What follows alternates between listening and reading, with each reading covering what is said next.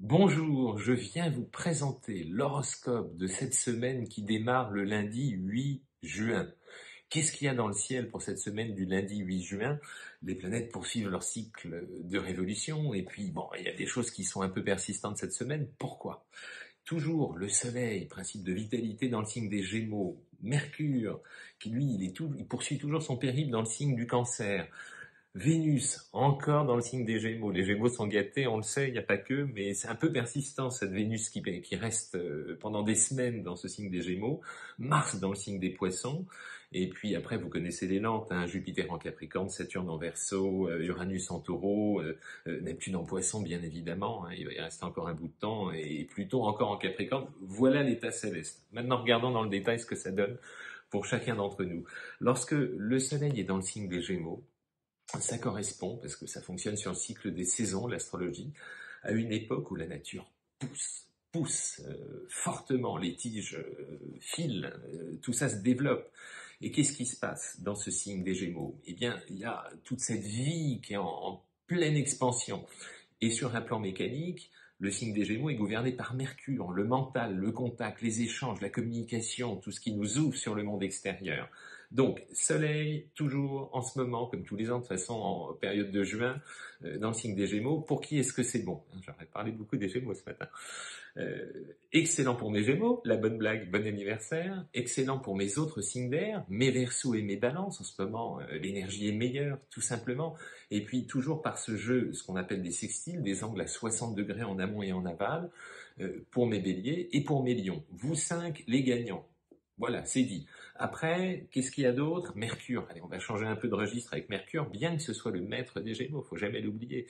Actuellement, il est dans le signe du cancer, il poursuit son périple dans le signe du cancer, donc Mercure, la communication, les échanges, le mental, dans ce signe-là, à qui va-t-il apporter de bonnes énergies? Moi, j'aime bien regarder les bonnes énergies, toujours, hein, c'est mieux. Voilà. Il y a des gens qui vous dépriment, et puis il y en a qui voient le bon côté des choses, tout de suite ça va mieux, ça ouvre, et puis c'est bon pour tous, pour le moral, pour le psychisme, etc. Bref, Mercure en cancer.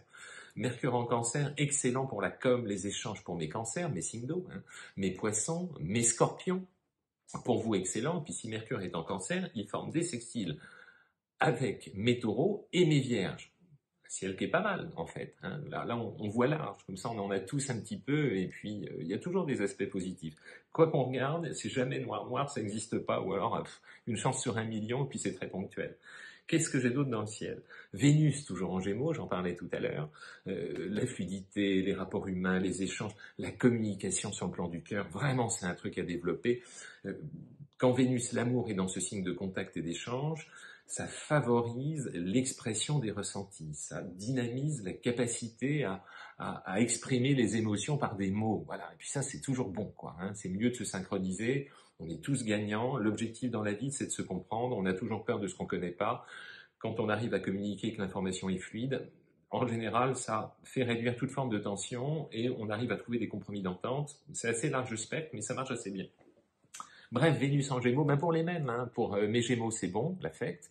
Pour mes Balances, pour mes Verseaux, pour mes Béliers, pour mes Lions. Vous cinq, encore une fois, deuxième couche pour vous. Avec le Soleil et Vénus en ce moment dans le ciel, c'est plutôt pas mal.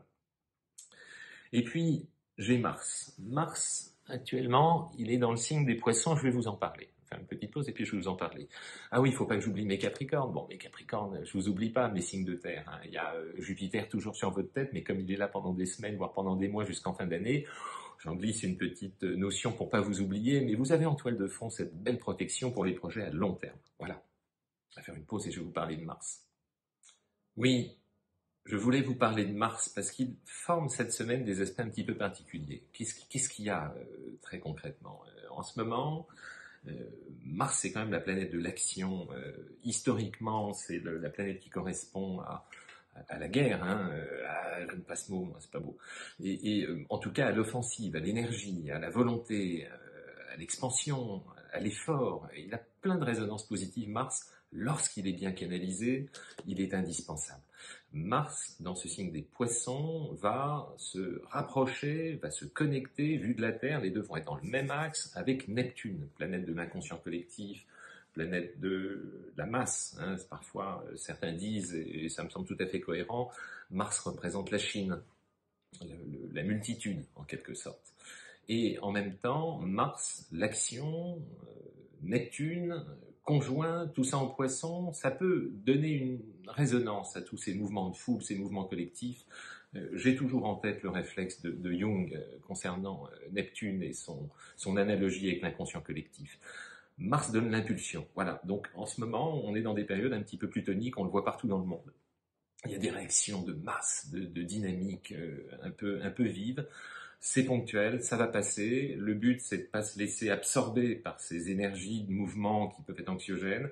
Encore une fois, ayons le recul de pas nous laisser euh, absorber hein, par les énergies négatives. Ces passages-là, ils sont tout à fait ponctuels. Ceux-là, ils sont rapides. Hein, c'est pas comme l'élan euh, qui était fac imprécor qu'on a eu depuis trois mois. Ça, c'est tout à fait momentané, puis ça passe très vite. Et puis, il y a aussi un effet positif. Alors, je voulais en venir. C'est toujours la même histoire. Regardons le verre à moitié plein tout ce qui est inspiration, créativité, richesse de, perspectives, de projets, lorsqu'il y a cette configuration dans le ciel Mars-Neptune, eh bien, c'est plus stimulant. Ça nous euh, fait émerger des, désirs, des envies, des, des choses qu'on a envie de faire, qu'on a envie de mettre en place. Et cette énergie-là, elle est formidablement stimulante lorsqu'elle est bien canalisée. Voilà. Allez, on se dit à très vite. C'était notre petit horoscope de la semaine. À la semaine prochaine. Merci.